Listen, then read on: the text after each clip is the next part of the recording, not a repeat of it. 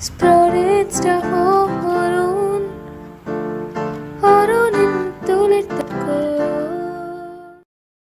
இன்றைய மன்னா யோவான் பனிரெண்டு இருபத்தி ஆறு. ஒருவன் எனக்கு ஊழியம் செய்கிறவனானால் என்னை பின்பற்ற கடவன். ஒருவன் எனக்கு ஊழியம் செய்தால் அவனை பிதாவானவர் கனம் பண்ணுவார். கிறிஸ்துவுக்காக ஊழியம் செய்த அநேகரில் ஒரு சகோதரியை பற்றி இன்று தியானிப்போம். அவர் மேரி ஸ்லெசர் ஆயிரத்தி எட்நூத்தி நாற்பத்தி எட்டாம் ஆண்டு ஸ்காட்லாந்து தேசத்தில் இரண்டு தம்பி இரண்டு தங்கைகளுக்கு மூத்த சகோதரியாக பிறந்தவர் மேரி. தகப்பன் மது போதைக்கு அடிமையானதால் வீட்டில் வறுமை. குடித்துவிட்டு வந்து மேரியை அடித்து குளிரில் தள்ளி கதவை தாழிடுவார். இரவு முழுவதும் குளிரில் நடுங்கியபடியே பல நாட்கள் மேரி இரவை நடு ரோட்டில் கழித்திருக்கிறாள். பதினோராம் வயதில் இயேசு கிறிஸ்துவை இரட்சகராக ஏற்றுக்கொண்டு அவரோடு வாழ ஆரம்பித்தாள். தகப்பன் இறந்தவுடன் தன் பதினான்காம் வயதில் குடும்ப பொறுப்பை ஏற்று பனிரெண்டு மணி நேரம் துணி நெய்யும் ஆலையில் வேலை செய்தாள். வீட்டு வேலைகளிலும் தாயாருக்கு உதவினாள். நேரம் கிடைக்கும் பொழுதெல்லாம் வேதாகமத்தையும் புத்தகத்தையும் படிப்பதை தன் வழக்கமாக கொண்டாள். ஞாயிறு என்றால் மேரிக்கு மிகுந்த சந்தோஷமான நாள். அன்று ஆராதனைக்கு செல்லலாம். ஆராதனைக்கு நடுவில் மிஷனரிகளை குறித்து இந்தியா சீனா ஆப்பிரிக்கா போன்ற பல தேசங்களிலிருந்து வரும் மிஷனரிகளின் அறிக்கைகள் அன்று வாசிக்கப்படுவதால் அது மேரிக்கு மிகவும் பிரியமான ஒன்றாக இருந்தது. ஒருமுறை வில்லியம் ஆண்டர்சன் என்பவர் ஆப்பிரிக்காவில் உள்ள கலபார் பகுதி மக்களை குறித்து பேசினார். கலபாரில் வாழ்கின்ற பழங்குடி மக்கள் பொய்யான தெய்வங்களையும் தீய ஆவிகளையும் நம்புகிறார்கள். அவர்கள் வேறு பழங்குடியினருக்கு எதிராக போர் செய்து ஒருவரை ஒருவர் காயப்படுத்தி கொலை செய்து கொள்ளுகிறார்கள். இரட்டை குழந்தைகள் பிறந்தால் அது தாய்களுக்கு துரதிர்ஷ்டத்தை கொண்டு வரும் என்று சொல்லி அந்த இரண்டு குழந்தைகளையும் கொன்று விடுவார்கள். அந்த தாய்மார்களையும் காட்டுக்குள் விரட்டி அடித்து விடுவார்கள். இன்னும் சந்திக்கப்படாமல் இப்படி அநேக பழங்குடியினர் கும்பல் கும்பலாக இறந்து கொண்டிருக்கிறார்கள். யார் போவார்கள்? யார் இவர்களுக்காக பாரப்படுவார்கள்?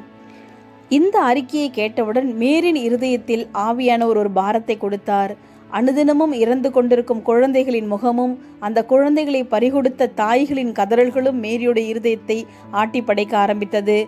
கர்த்தருக்கு சித்தமானால் தன்னை அப்படிப்பட்ட இடத்திற்கு மிஷனரியாக அனுப்புமாறு அவள் தேவனிடம் ஜெபித்தாள். அவள் விரும்பின அந்த நாளும் வந்தது. மூன்று காரணங்களை சொல்லி மேரியை தடுக்க முயன்றனர். மேரி ஒரு வாலிப பெண்.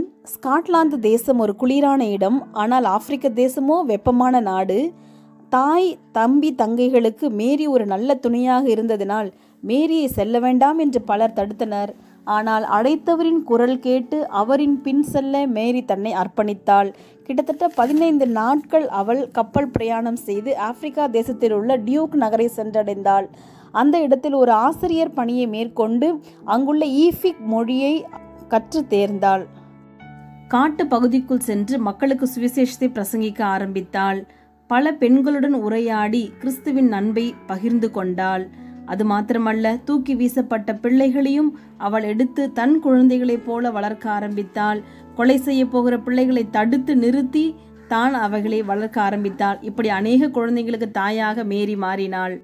நோயுற்றோருக்கு மருத்துவ உதவிகள் செய்து காப்பாற்றினாள். இரு தரப்பினருக்கு நடுவில் சண்டை நேரிடும் போது தைரியமாக மேரி சென்று நடுவில் நின்று சமாதானப்படுத்தி அநேகர் உயிரிழப்பதையும் சண்டையிடுவதையும் மேரி தடுத்தாள் வயது முதிர்ந்த காலத்திலும் சக்கர நாற்காரியில் அமர்ந்தவாறே சென்று மக்களை சந்தித்து தன்னுடைய ஊழியத்தை தொடர்ந்தாள் மேரி ஆயிரத்தி தொள்ளாயிரத்தி பதினைந்தாம் ஆண்டு தனது அறுபத்தி ஆறாம் வயதில் மறித்து அந்த மக்களுக்கு மத்தியில் டியூக் நகரிலேயே மேரி அடக்கம் பண்ணப்பட்டாள். இன்றும் நைஜீரியாவில் மேரின் உருவ சிலைகள் ஆங்காங்கே காணப்படுகிறது. இரட்டை குழந்தைகளை கையில் ஏந்திய வண்ணம் அநேக பள்ளிகளும் கல்லூரிகளும் மேரி நினைவாக திறக்கப்பட்டுள்ளது. இப்பொழுது யாரும் இரட்டை குழந்தைகளை கொலை செய்வதில்லை. யாரும் காட்டு மிராண்டிகளைப் போல ஒருவரை ஒருவர் அடித்து கொள்ளுவதில்லை அவர்கள் மனிதர்களாக மாத்திரமல்ல இயேசு கிறிஸ்துவை பின்பற்றுகிறவர்களாகவும் மாறியிருக்கின்றனர். ஒரு ஏழை குடும்பத்தில் பிறந்து தகப்பனை இழந்த ஒரு சிறு பெண் தன்னை அர்ப்பத்து அர்ப்பணித்ததின் மூலமாக தேவன் ஒரு சமுதாயத்தையே ஆசிர்வதித்தார். இந்த நாளில நாமும் தேவனிடத்தில் அன்பு கூர்ந்து அவருக்கு ஊழியம் செய்யும்படி நம்மை அர்ப்பணித்தால் நம்மை கொண்டும் தேசங்களை அசைப்பார். நாம் ஜபிப்போமாம் அன்பின் பரலோக தகப்பனே நாங்கள் தாயின் கருவில் உருவாகும் முன்பாகவே எங்களை குறித்து திட்டமிட்டு எங்களை இந்த பூமிக்கு அனுப்பி இருக்கிறவரே உம்முடைய திட்டத்தை நாங்கள் புரிந்து கொண்டவர்களாக ஆண்டவரே சமுதாயத்திற்கும் மக்களுக்கும் ஆசிர்வாதத்தை கொண்டு வருகிறவர்களாக அநேகரோட வாழ்க்கையை மாற்றுகிறவர்களாக எங்களையும் வழிநடத்தும்.